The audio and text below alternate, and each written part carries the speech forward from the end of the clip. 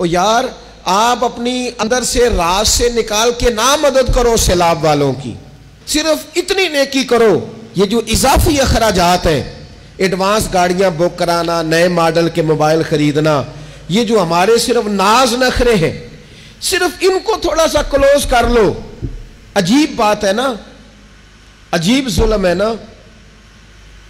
कि एक बच्चा रात को इसलिए खाना नहीं खा रहा। कि उसकी मर्ज़ी का पका हुआ नहीं।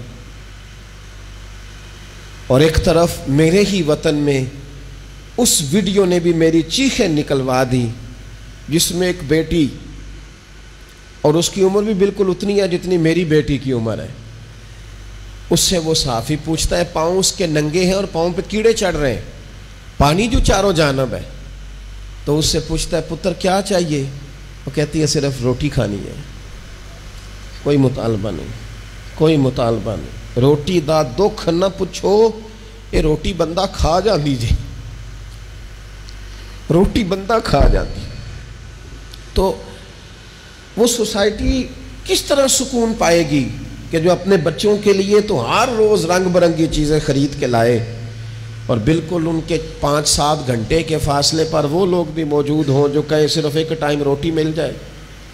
रोटी का दुख ना पुछो ये रोटी तो बंदा खा जाती